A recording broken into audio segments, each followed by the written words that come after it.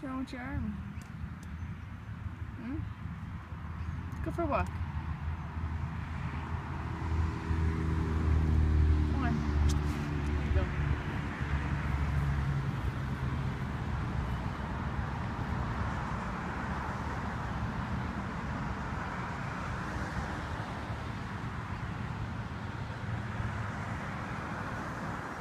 Just sit there and turn your back to me.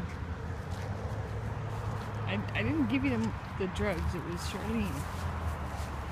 Hey? Hey? It wasn't me, it was Charlene. Dude, your apples.